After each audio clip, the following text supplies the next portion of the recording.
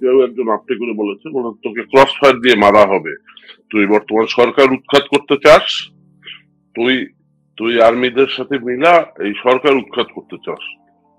তা আমি বললাম, আর্মিদের সাথে মিলে আমি সরকার উৎখাত করব, তার মানে কি? আমি কি সেনা, আমি সেনাবাহিনীতে কর্মরত বা প্রতিরক্ষা বাহিনীর কোনো মতো মানে বাংলাদেশের আওয়ামী সরকারের আমলে অসংখ্য ব্যক্তি গুম হয়েছেন, যার মধ্যে তিনি একজন ব্যক্তি ছিলেন, তাকে দীর্ঘদিন গুম রাখা হয়েছিল, নির্যাতন করা হয়েছিল এবং গুম থেকে ফিরে প্রথমবারের মতো সাংবাদিকদের সাথে কথা বলার সাহস যে ব্যক্তি দেখিয়েছিলেন, তিনি হচ্ছেন সেই ব্যক্তি যিনি আজকে আমার অতিথি।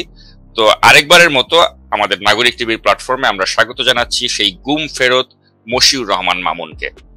সাধারণত যারা গুম থেকে ফেরত আসে, তারা মুখ খোলার মতো সাহস পায় না। আর আপনার বিষয়টি আরেকটু ব্যতিক্রম এই কারণে যে আপনি তার বিরুদ্ধে আপনার মুখ খুলতে হয়েছিল যে ব্যক্তিটি সে সময়ে পুলিশের তিনি আইজিপি ছিলেন অর্থাৎ বেনজির আহমেদ যার দ্বারা আপনি নির্যাতিত হয়েছিলেন নিপীড়িত হয়েছিলেন এবং আপনার গুমের জন্য যাকে দায়ী করা যেতে পারে তিনি হচ্ছেন এই বেনজির আহমেদ। তো সেই বেনজির আহমেদের দ্বারা নির্যাতিত একজন ব্যক্তি আপনি আর সেই বেনজির আহমেদ যখন আইজিপি ছিলেন সে সময় আপনি বেনজির আহমেদের বিরুদ্ধে মুখ খুলেছিলেন। আপনি কি আমাকে শুনতে পাচ্ছেন? জি আমি শুনতে পাচ্ছি। তো এখন তো মেঘে মেঘে অনেক বেলা পার হয়ে গেল এবং বেনজির আহমেদ এখন আর আইজিপি হিসেবে নেই। তো আমরা আশা করব যে তখন আপনি অতটুকু ভীতির মধ্যে থেকেও অনেক খোলামেলা কথা বলেছিলেন। আমি আশা করব যে আজ হয়তো আরও বেশি খোলামেলা করেই আপনি সে সময় যে কথাগুলোর উত্তর দিতে পারেননি বা যে প্রশ্নগুলো আপনি স্কিপ করেছেন, সেগুলো হয়তো এবার একটু আরেকটু খোলামেলা করে বলবেন এবং দর্শকদের অনেক ধরনের জিজ্ঞাসা রয়েছে আপনাকে নিয়ে, সেগুলোর আপনি উত্তর দেবেন। তো উইজ মশিউর রহমান মামুন। তো প্রিয় দর্শক, আপনাদের জ্ঞাতার্থে জানাতে চাচ্ছি যে মশিউর রহমান মামুন হচ্ছেন সেই ব্যক্তি আপনাদের নিশ্চয়ই মনে আছে যে আলোচিত মাহমুদুর রহমান মান্নার একটা ভাইবার কথোপকথন ফাঁস করা হয়েছিল বেশ কয়েক বছর আগে। এবং যে প্রেক্ষিতে মাহমুদুর রহমান মান্নাকে গ্রেপ্তার করা হয়েছিল এবং বলা হয়েছিল যে মাহমুদুর রহমান মান্নার সাথে যে ব্যক্তিটি নাকি কথা বলেছিলেন, তিনি নাকি ছিলেন এই মশিউর রহমান মামুন। অথচ ওই ব্যক্তির কণ্ঠের সাথে মামুন সাহেবের কণ্ঠের কোনো মিল নেই। তো প্রথমেই চলুন ওই যে আলোচিত যে কথোপকথন যেটি সরকারের এজেন্সির মাধ্যমে ফাঁস করা হয়েছিল, সেই সেই কথোপকথনটি আমরা একটু শুনে নেই তারপর আমরা আলোচনায় ফিরে আসছি।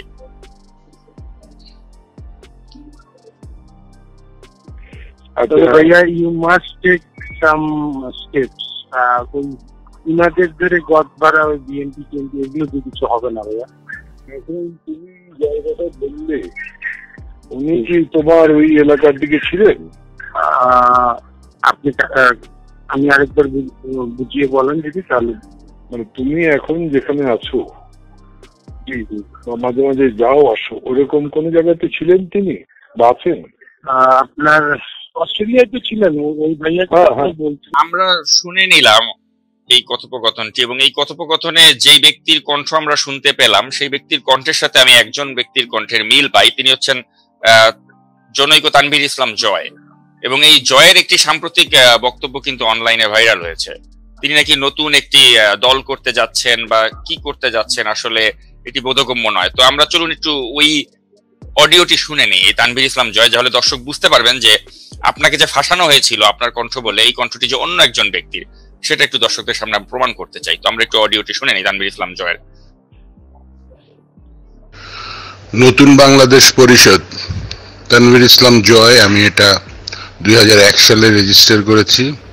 নন পলিটিক্যাল একটা পার্টি এনজিও টাইপের আমার দুই হাজার দুই হাজার একের উনত্রিশে মার্চ আমি শুরু করেছিলাম এটা। আমার চব্বিশ হাজার মেম্বার আছে, সারা বাংলাদেশ সহ সারা পৃথিবীতে। তার মধ্যে একুশশো সাতজনকে আমি দেশের বাইরে পাঠিয়েছি নিজস্ব খরচে। এখন সময় চলে আসছে এটাকে একটা পলিটিক্যাল রূপ দেওয়ার জন্য। তার জন্য রেজিস্টার সহ, নিবন্ধন সহ একটা দল আমরা কিনে নিচ্ছি। কারণ আমি গত দুই আড়াই বছরে পঞ্চাশ লাখ টাকা ফাইন্যান্স করেছিলাম জেনারেল ইব্রাহিমকে, পঞ্চাশ লাখ টাকা করেছিলাম অলি সাহেবকে, হাফিজ সাহেবদের করেছিলাম, রেজা কিবরিয়াকে করেছিলাম, নূরদের করেছিলাম, কিন্তু এরা কেউ কাজ করতে পারেনি। ইভেন বিএমপি কে ফাইন্যান্স করেছিলাম। কোনো লাভ হয়নি। তার জন্য আমি বিশ্বের অনেকগুলো আর্মি অফিসারকে নিয়ে ব্যুরোক্রেটস এবং জুডিশিয়ারি সবাইকে নিয়ে, এখানে আকবর জেনারেল আকবর থেকে শুরু করে শুরু করে এভিএম আজম থেকে শুরু করে নিয়ে, ব্রিগেডিয়ার হাসান নাসির থেকে শুরু করে নিয়ে, অনেকেই আছে আপনার পরিচিত ওদের সবাইকে নিয়ে আমার একটা নতুন বাংলাদেশ পরিষদ, একটা নতুন ধারার আমরা একটা রাজনৈতিক পার্টি করতে যাচ্ছি।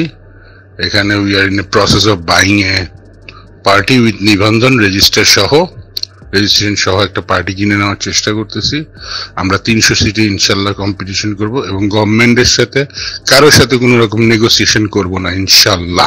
মশিউর রহমান মামুন, আমরা যে কথা শুনলাম, তো এই কথা থেকে বোঝা যাচ্ছে যে এই লোকটি আসলে যে একটা বাট পার এবং তাকে যে সরকারি তাকে দিয়ে খেলাচ্ছে, এগুলো কিন্তু বুঝাই যাচ্ছে। কারণ নাহলে এভাবে সে কিন্তু নাম উল্লেখ করে বলতে পারতো না যে কাকে কত টাকা সে দিয়েছে বা কি। তো এ থেকে বোঝা যাচ্ছে যে এরকম একটি বাটপারকে দিয়ে আপনাকে ফাঁসাবার একটা প্রচেষ্টা কিন্তু সরকার করেছিল। এবং সেক্ষেত্রে তারা সফলও হয়নি, কারণ সফল যদি হতো তাহলে তো আপনি আসলে এখন লন্ডনে থাকতে পারতেন না। আপনি যে করেই হোক, আপনি চলে আসতে পেরেছেন এবং এসে আপনি কিন্তু এগুলো ফাঁস করার একটা সুযোগ পেয়েছেন। তো আপনার কাছে আমি জানতে চাই, কেন আপনাকে তারা একটা থ্রেট মনে করেছিল? কেন আপনাকে গুম করেছিল? আর আপনাকে ফাঁসাবার জন্য কেন এই তানবির ইসলাম জয়ের মতো একটা ক্যারেক্টারকে তারা ব্যবহার করেছিল? এগুলো যদি একটু দর্শকদের সংক্ষেপে আপনি বলেন। ধন্যবাদ। এই বিষয়টা আমাকে যখন গুম করে নিয়ে যে পরে নির্যাতন করা হয় এবং আমাকে যখন বলা হয় যে, এই কণ্ঠ আপনি আপনি এই সেনাবাহিনীকে ব্যবহার করে, আপনার সেনাবাহিনীর মধ্যে বিশৃঙ্খলা তৈরি করে আপনি রাষ্ট্র ক্ষমতা দখলের পায়তারা করছেন যে, এটি কেন করলেন? তো আমি তখন তাদেরকে বললাম যে, আপনি আমাকে একটু পুরাটা শোনান। শোনাবার পরে, তো আমার তো চোখ বাঁধা, আমার সামনে কারা বসা আছে আমি তো জানি না। তো তারা শুনলো শোনাবার পরে আমি বললাম যে, দেখেন, এই গলাটা কি আমার, এই কণ্ঠস্বর কি আপনার? আপনাদের কি মনে হয়? বলে হ্যাঁ এটা আপনার। আমি তখন বললাম, তার মানে আপনারা ধরেই নিয়েছেন যে আমাকে আপনারা ফাঁসাবেন।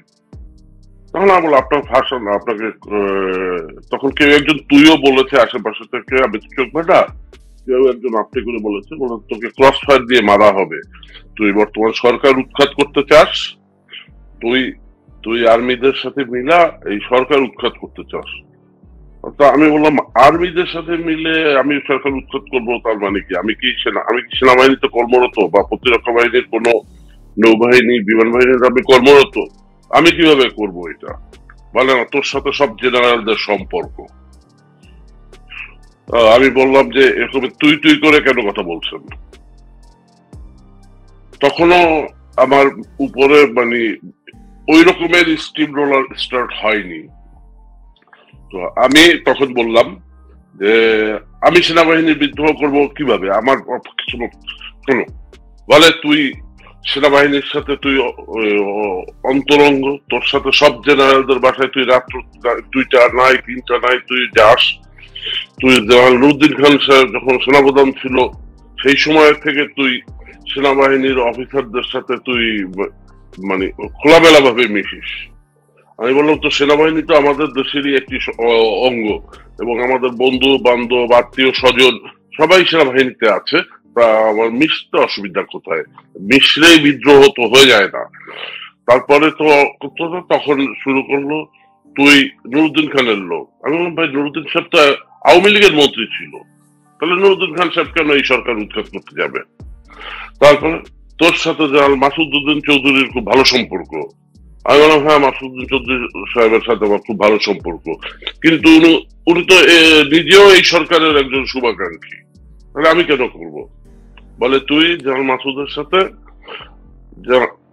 আমি নামই বলি, লেফটেন্যান্ট জেনারেল সারোয়ার্দি সাহেবের কথা বলল, আর একজন ওই যে বলছে উড বি লেফটেন্যান্ট জেনারেল, একজন জেনারেল সাহেবের কথা বলল তুই এদেরকে দিয়ে সেনা উদ্বুত্তন ঘটাবি। ঘটায় রাষ্ট্র ক্ষমতা দখল করবি। আমি বললাম, দেখেন, যে গলার সাথে আমার মিলই নাই, সেই গলার সাথে কেন আমাকে আপনারা জড়াচ্ছেন? আর কেন এক দুইজন নিরপরাধ অফিসারের কথা আপনারা আমাকে বলছেন? বলে, শুধু এরা না, তুই আর মাহমুদ রহমান মান্না মিলে, তুই লন্ডনে তারেক রহমানের প্রতিনিধি হিসেবে তুই বাংলাদেশে আসছিস, তুই তো এখন বাংলাদেশে থাকিস না, তুই থাকিস বিদেশে। তুই খালেদ রজিয়া এবং তারেক রহমানের লোক, তুই এটা তাদের হয়ে সেনাবাহিনীর সাথে তুই কমিউনিকেশন করে তুই এই সরকার উৎখাতে সহযোগিতা করছিস। তো এবং তখন আমার উপরে কিন্তু আপনার অত্যাচার শুরু হয়ে গেছে। তখন আমার পায়ের নিচে আপনি ওই যে পরাটা ভাজা যে প্লেট ওরকমের গরম প্লেটের উপরে আমার পা অল্প একটু নিচে মানে ওই তাপটা আসছে মানে আমি স্বীকার না করলেই আমাকে প্রেশার দেওয়া হবে। এবং আমার তো চোখ বাঁধা, আমি কেমনি বুঝলাম, একবার ওরা আমার পাও ওই প্রেস করিয়েছে।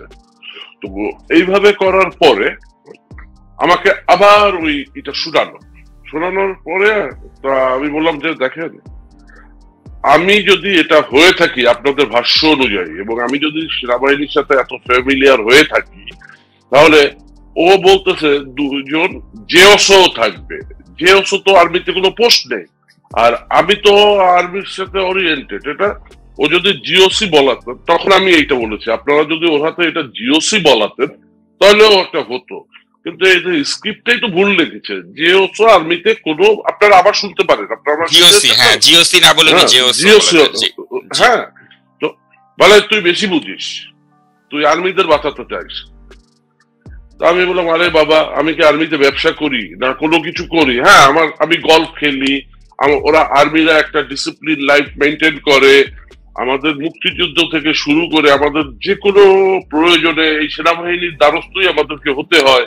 তো আমরা সে বেশি এর অর্থ তো এই বিদ্রোহটা তারপরে? এবং সে বলল ফুল আর্মি খারাপ। আপনি ফুল আর্মি খারাপ। তখন আমি বললাম যে, ভাই, তার মানে আপনারা আর্মি রিলেটেড কেউ না, এবং আর্মির ইমেল নষ্ট করার জন্যই এই কাজটা করছেন। আমি এটা বুঝে গেছি, এখন আমার আর কিছু বলার নাই। আপনাদের যা খুশি আপনারা লিখে দেন। কারণ আমি তখন অত্যাচার সহ্য করতে পারছিলাম না। আমি টানা দুদিন আমাকে ঝুলিয়ে রেখেছিল। যখন দেখল যে আমি কোনোভাবেই তাদের সেই হচ্ছি না, আমাকে টানা দুদিন ঝুলিয়ে রেখেছিল। তারপরেও ওই হ্যান্ডকাপ হাতে, এই যে হ্যান্ডকাপটা আমি দেখাচ্ছি, বুঝতে পারছেন কিনা? যেমন ধরেন আমার যে ঘড়ি, এই যে ঘড়ি ঘড়ি আমার হাতে অন্য একটা ঘড়ি ছিল। এই ঘড়ি খুলে নিয়ে যায় এইভাবে বেঁধে রেখে আমাকে হ্যাং করে রাখে। রাখার পরে পিটাতে থাকে। কিন্তু আমি এক কথাই বলি, আমি বললাম যে, ভাই, আমি কিছুই জানি না। আর এটা ঠিক, সেনাবাহিনীর সাথে আমার সম্পর্ক অস্বাভাবিক ভালো। আমি কাল মানে যেদিন আমাকে গুম করা হয় সেদিন দুপুর বেলাও আমি একটি বাহিনীর প্রধানের সাথে দুপুরে লাঞ্চ করেছি। কারণ সেদিন আমি সন্ধ্যায় ফ্লাই করছিলাম ব্যাংককের উদ্দেশ্যে। আমি আচ্ছা নামগুলো নামগুলো বললে কি সমস্যা আছে? আপনি যদি চান আপনি নামগুলো বলতে পারেন যে কার সাথে আপনি লাঞ্চ করেছিলেন। আচ্ছা ওই দিন তৎকালীন বিজেপির প্রধান জেনারেল আজিজ আহমেদ উনি আমাকে ফোন করেছিল যে, উনি আমার মানে পারিবারিক ভাবে আমরা পরিচিত, একই মহল্লার। ওনাকে আমি চিনি, উনি উনি আবার আমরাও কিন্তু সাকিব, আপনি যেমন নরডেম কলেজে, আমি নরডেম কলেজে, উনিও নরডেম কলেজের। And you know the bondings of Notre Dame না কিন্তু কিন্তু কথা হচ্ছে রটারডাম কলেজে হলে উনি তো একজন কুখ্যাত ব্যক্তি এবং উনি তো দুই সালের নির্বাচনটা তো উনি তো ম্যানিপুলেট করেছেন। এরকম- একটা লোকের সাথে আপনার কেন এত ভালো সম্পর্ক ছিল? আপনি কি এটার জন্য গিলটি ফিল করেন? অবশ্যই কিন্তু কিন্তু আপনার আমার ঘটনাটা কিন্তু ঘটেছে দু হাজার পনেরোর বাইশে ফেব্রুয়ারি তেইশে ফেব্রুয়ারি। দু হাজার পনেরো তেইশে ফেব্রুয়ারি তখন তো উনি লেফটেন্যান্ট জেনারেলই হয়নি তখন উনি মেজর জেনারেল উনি তো ইলেকশন করিয়েছে দু হাজার আঠারোতে। মানে তখনও পর্যন্ত মানে আপনি কল্পনা করতে পারেননি যে এই লোকটির দ্বারা এরকম একটা নির্বাচন ম্যানিপুলেট হতে পারে। সুযোগ কই আমার? কারণ তখন পর্যন্ত তো উনি আমাকে বলতেন যে দেখো বয়স তো হয়ে গেছে যে কদিন চাকরি আছে বিজেপি থেকেই আমি রিটায়ারমেন্টে যাব। উনিও তো আশা করেননি যে উনি কোনোদিন সেনাপ্রধান হবেন।